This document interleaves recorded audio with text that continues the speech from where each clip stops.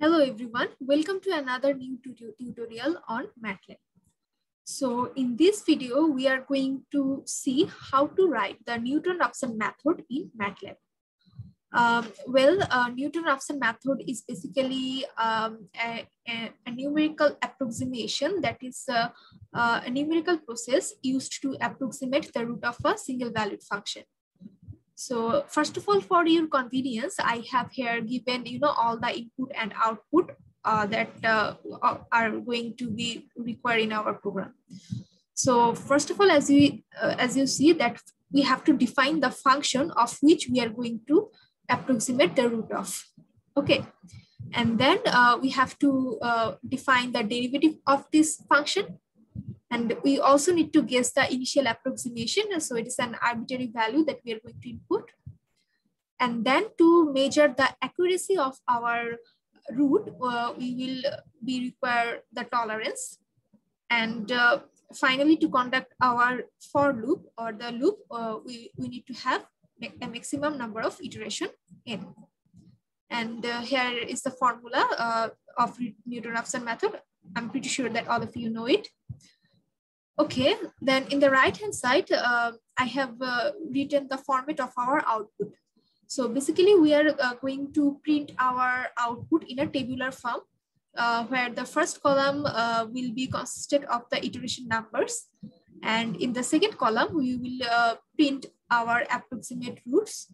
And finally, in the third and the last column, we will print the error of our consecutive, consecutive two roots. Okay, so let's move into the program. So first I have to define our function if. So here uh, I will uh, define my function. So there are uh, many process to define function in MATLAB. Here I am using the inline command to define my function. And uh, I the function I'm going to choose is from uh, the book Numerical Analysis by Richard L. Burden uh, here, so here in example one, I have uh, the function is given as cos x minus x. So it is our function and it is uh, a very, the variable here is x. So I have to write the variable here uh, in the inverted comma. Then the we have to find out also the derivative of the function, which uh, I will denote by df. So again, it will be a function of x. So it will be a function of x uh, and the function will be the uh, value of the derivative of cos x minus x. So I will use MATLAB uh, built-in command to determine the derivative. So diff, diff f of x. So I'll just uh, show you guys the output uh, so that we can, uh, you know, see our function and its derivative. So if I run the section, uh, you see that I have get uh, got an error message that the variable x is undefined. So I forgot to define the variable which is x. Okay, now run the program. So here is our uh, function. You see that uh, cos x minus x. And also the derivative of the function has been uh, defined as minus sine x minus 1. So it's right. Okay, I will stop showing the output. Next, we will define our initial approximation. So here I will generate all the approximated roots in a array. So I will name this array y and the first element of this array will be our initial approximation. So since it is uh, just a guess and you can put any arbitrary value, I just uh, I'll just put 6.5. Okay. And next, um, for tolerance, I will define it as 0 0.0001. So it's basically 10 to the power minus 5 and our maximum number of iteration uh, will be say 30 uh, we can uh, assign any value as n but it's always better to define it at least 20 or more. Okay. So we have uh, defined all our input. So now i will uh, write down the loop. So 4 and so here I will basically range from uh, 1 to n and now my aim is to generate the rest of the values of the array y. So I have always defined the first element of this array. So I will start uh, here by i plus 1 because uh, in the first iteration I will be 1. So I will be generating the value y of 2. And I'll just simply write down the formula. Minus minus the value of the function divided by the derivative uh, y of i and y of i. Okay, so here I have defined uh, defined my array using the formula of Newton-Raphson method. So next I have to check my uh, the accuracy, you know, the difference between two consecutive root. So for this, I will use if command. So if the absolute value of y i plus 1 minus y of i, if this difference is less than tolerance, then we will we will print our solution. So we will uh, print say approximated, approximated root equal to, so I have to format it percent point four F and here what is basically percent 4f is our y of i plus 1. That is the, uh, you know, the current approximation. If uh, it is less than tolerance, it will be our root. Yeah. And uh, if, if we have got our root, then we will just simply end our program here. So I will use return command. So it will just, you know, uh, it, it will not execute any other uh, other commands after it.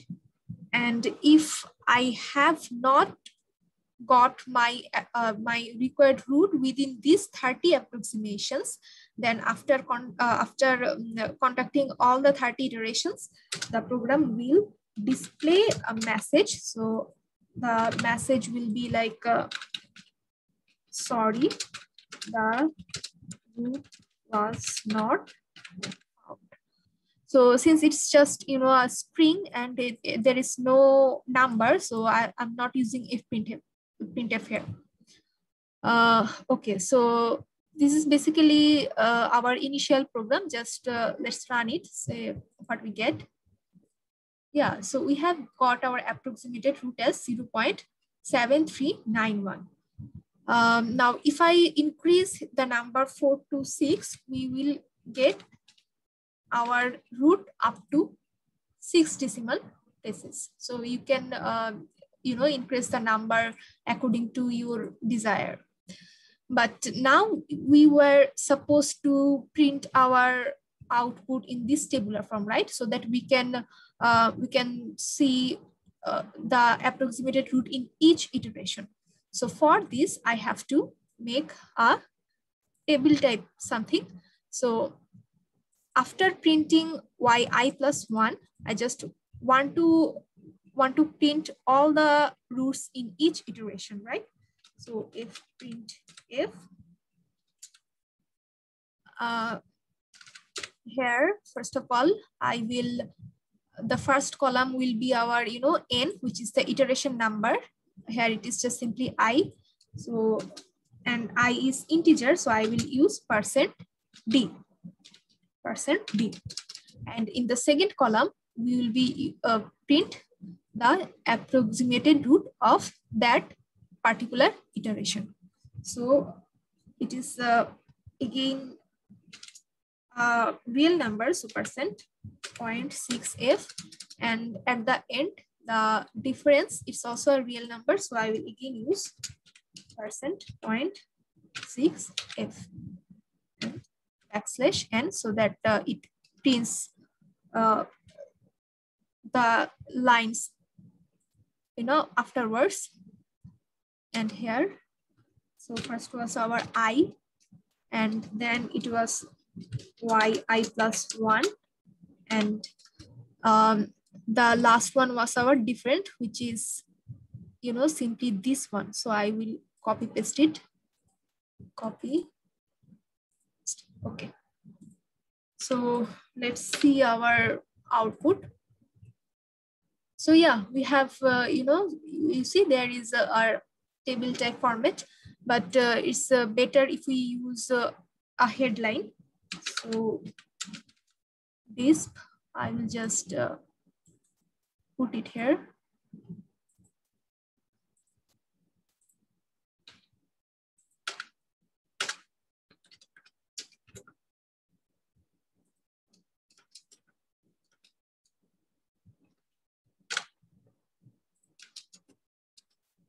So it's just you know uh, to to look the program a more prettier one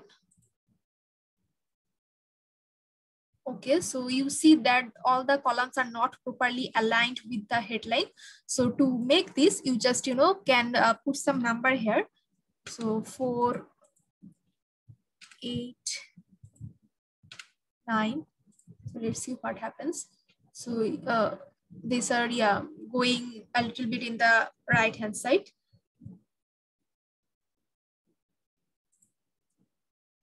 Uh, to make the, you know, first row a little bit of down, I'll just here uh, put percent slash n. Okay, so now it uh, looks a more convenient one. Okay, so